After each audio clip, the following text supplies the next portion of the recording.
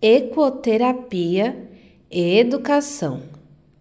Projeto beneficia crianças e adolescentes em Porto Alegre.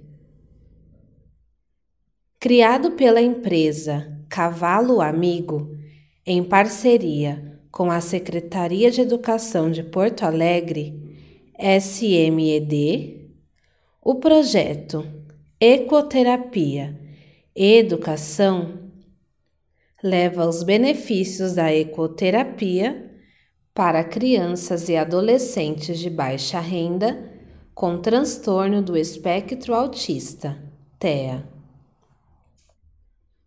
O projeto tem como objetivo utilizar os recursos da ecoterapia para o tratamento de pessoas com deficiências.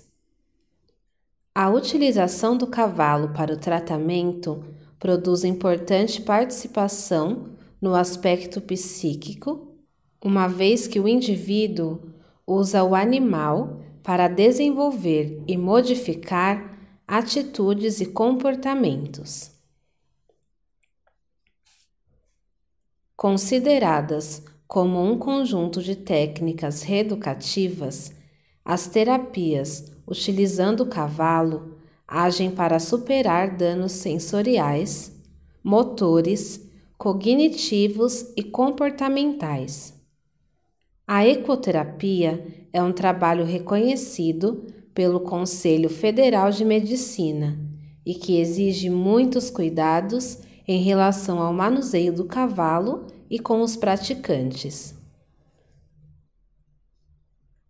Sob a coordenação da psicóloga Silvia Schaeffer e do educador físico Sandro Fernandes, a equipe do Cavalo Amigo trabalha em uma área de 10 hectares dentro da Sociedade Hípica Porto Alegrense, em um ambiente natural com toda a infraestrutura e segurança. Para mais informações, acesse o site www.cavaloamigo.com.br. Veja o vídeo do projeto Ecoterapia e Educação no link.